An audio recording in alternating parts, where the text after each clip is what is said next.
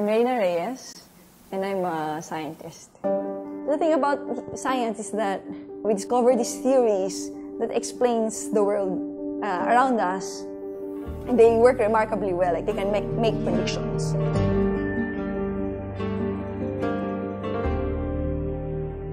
Gravity in Einstein's universe is the curvature of space-time.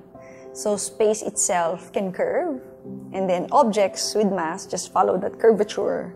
The image is you have a, a rubber sheet, and you have a ball uh, in the middle, it curves the sheet. And then if you have a small marble, it follows the curvature of the sheet and it goes around the bigger uh, ball. So that's gravity, and that's why, for example, the moon goes around the earth and the earth goes around the sun. In, in Newton's um, theory of gravity, you have two masses, then there's, there's a force that attracts uh, them, right? And then we, when we go out and measure, for example, how if uh, you drop something, you drop a ball, it drops at a certain velocity and a certain acceleration, so it goes faster and faster. That speed through the fall is predicted precisely by, by Newton's uh, laws.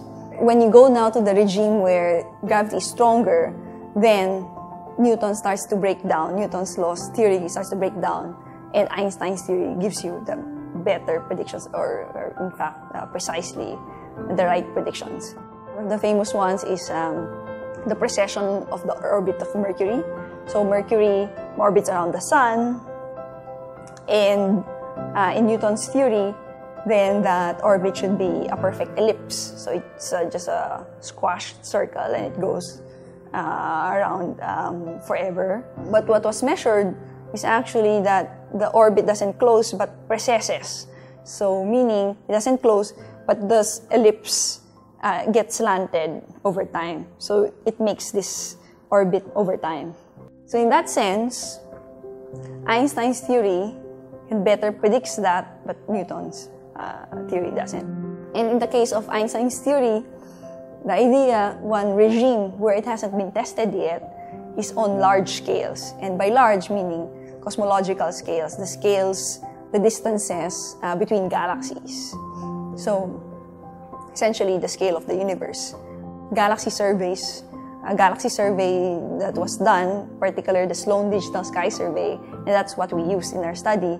So we studied uh, we analyzed around 70,000 galaxies, see how they're distributed, see their uh, effects on, there's something called the gravitational lensing effect, so how the masses bend light. By measuring these things and comparing it with the prediction from Einstein's theory, we test if, if the theory and the observations match. And we found out that they do. Within the margins of error, within the uncertainty of what we measured, let's say this is the error bar, this is the measurement. It's here, but it can be here, it can be here because uh, of the errors.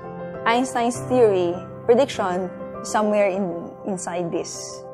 The question is, in science, we want to test the theories uh, we know because even if they're great, just like Newton's theory was great, no, and Einstein's theory is, is great, we know that there can be another theory that will be discovered in the future that will supersede the current theory. That's how science progresses.